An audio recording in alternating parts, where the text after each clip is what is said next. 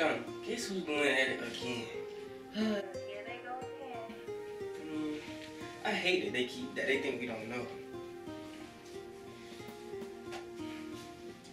I mean, it's not even that serious. Shouldn't even care anymore. Then why'd you call?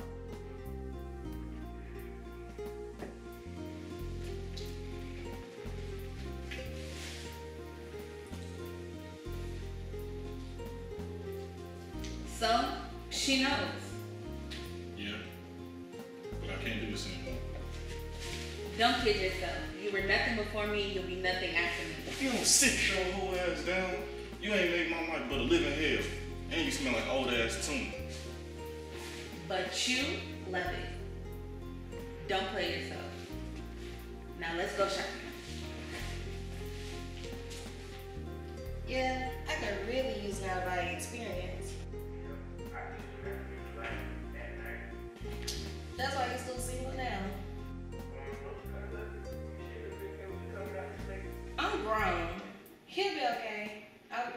30.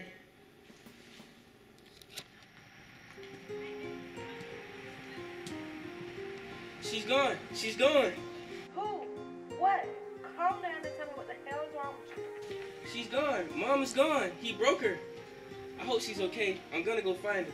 No, you're always calm. I'm gonna solve the real problem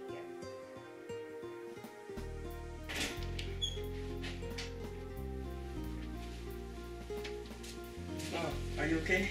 I'm fine, TJ. Just my anxiety got to me. But I'll be back ready to Nene soon enough. Dang, Mom, he's so strong. But where is he?